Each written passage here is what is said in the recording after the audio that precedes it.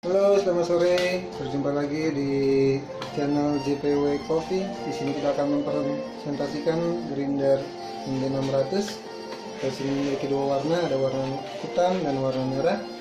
India 600 memiliki tingkat kehalusan dari nomor 1 fine hingga nomor 8 yang paling kasar. Penggunaannya cukup mudah. India 600 tinggal diputar pada bagian depan untuk mengambil tingkat kehalusannya dan tidak usah khawatir di sini kita memiliki penggunaan listrik yang cukup rendah hanya 100 watt. Baik kita coba untuk membuat kopi dengan tingkat kekasaran nomor 8 oke caranya siapkan kopi. Biji kopi yang akan kita haluskan.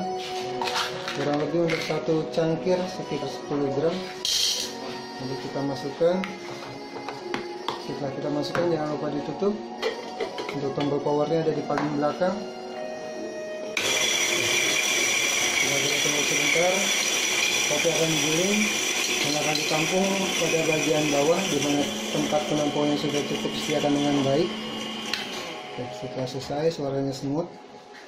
Kita buat yang paling kasar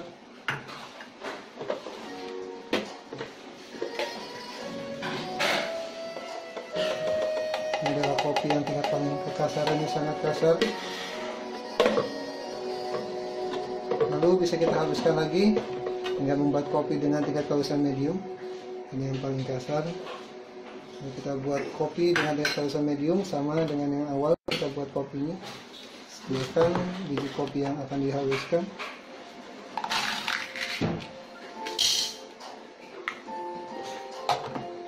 tutup kembali jangan lupa untuk ditingkatkan kehalusannya medium kurang lebih berada di sekitar nomor 3 dan 4 kita menggunakan nomor 3 kopi-kopi medium biasanya digunakan untuk kopi-kopi dengan metode manual brew seperti fan press V60, Vietnam drip dan lainnya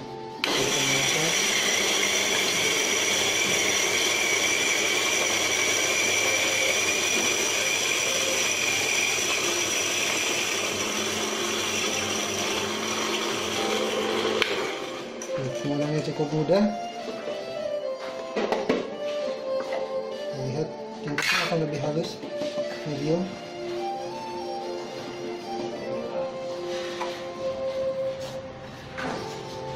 Oke, dan yang terakhir apabila untuk para pencinta kopi espresso kalian bisa meningkatkan hingga nomor satu atau fine sama dengan yang awal masukkan biji kopinya